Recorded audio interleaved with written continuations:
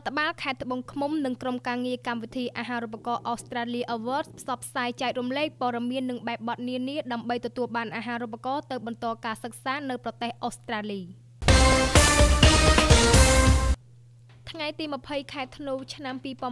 ឯកឧត្តមពេញសម្បត្តិអភិបាលរងខេត្តត្បូងឃ្មុំនិងលោក Peter Busing អនុប្រធានកម្មវិធី Australia Award បានអញ្ជើញជាអធិបតីក្នុងកិច្ចប្រជុំដើម្បីផ្សព្វផ្សាយនិងចែករំលែកព័ត៌មានស្ដីអំពីអាហារូបករណ៍សិក្សាភាសាអង់គ្លេសនិងអាហារូបករណ៍ថ្នាក់ក្រោយឧត្តមសិក្សានៅប្រទេសអូស្ត្រាលីជូនដល់មន្ត្រីរាជការនៃរដ្ឋបាលខេត្តនិងនិស្សិតសាកលវិទ្យាល័យហេងសំរិនត្បូងឃ្មុំសរុបប្រមាណជិត200នាក់នៅសាលប្រជុំក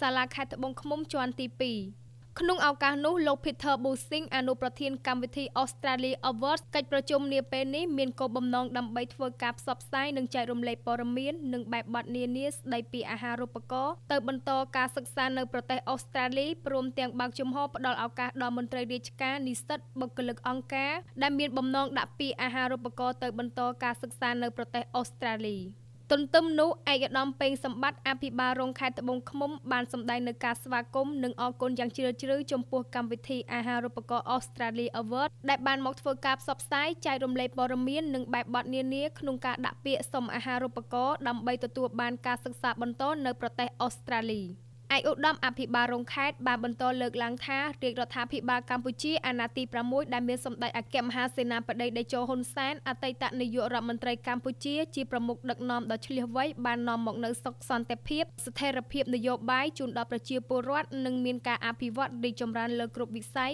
នៅទូទាំងប្រទេស។ ហើយនៅក្នុងអាណត្តិទី7ក្រោមការដឹកនាំបន្តរបស់សម្ដេចមហាបវរធិបតីហ៊ុនម៉ាណែតជានាយករដ្ឋមន្ត្រីកម្ពុជាបានអនុវត្តយុទ្ធសាស្ត្របញ្ចកោណដំណាក់កាលទី1ដោយបានផ្ដល់អាទិភាពលើការកសាងសមត្ថភាពនិងអភិវឌ្ឍធនធានមនុស្សដើម្បីបង្កើតនូវសមត្ថភាពផ្ទាល់ខ្លួនរបស់មន្ត្រីរាជការនិស្សិតនិងបុគ្គលិកអង្គការដើម្បីចូលរួមអភិវឌ្ឍប្រទេសជាតិ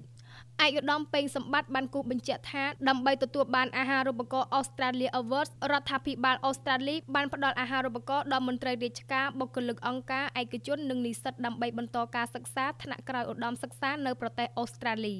តាមរយៈកិច្ចប្រជុំផ្សព្វផ្សាយនាពេលនេះបេក្ខជនអាចជ្រើសរើសមុខជំនាញនានាដែលខ្លួនចង់ទៅសិក្សានៅប្រទេសអូស្ត្រាលីបេក្ខជនជាស្ត្រីបេក្ខជនមកពីបណ្ដាខេត្តនិងបេក្ខជនដែលមានពិការភាពត្រូវបានលើកទឹកចិត្តយ៉ាងខ្លាំងក្នុងការដាក់ពាក្យផងដែរ។ បន្ថែមលើនេះឯកឧត្តមអភិបាលរងខេត្តត្បូងឃ្មុំបានចាត់ទុកកិច្ចប្រជុំផ្សព្វផ្សាយនេះបានផ្ដល់ធាតុចូលសំខាន់សំខាន់ជាសារៈប្រយោជន៍សម្រាប់បងប្អូនមន្ត្រីរាជការនិស្សិតដែលមានបំណងអភិវឌ្ឍខ្លួនក្លាយជាអ្នកដឹកនាំតាមរយៈអាហារូបករណ៍នេះហើយដល់ពេលបញ្ចប់ការសិក្សាពីប្រទេសអូស្ត្រាលីគឺបាននាំយកនៅចំណេះដឹងថ្មីៗនិងសមត្ថភាពដើម្បីរួមចំណែកអភិវឌ្ឍប្រទេសកម្ពុជា។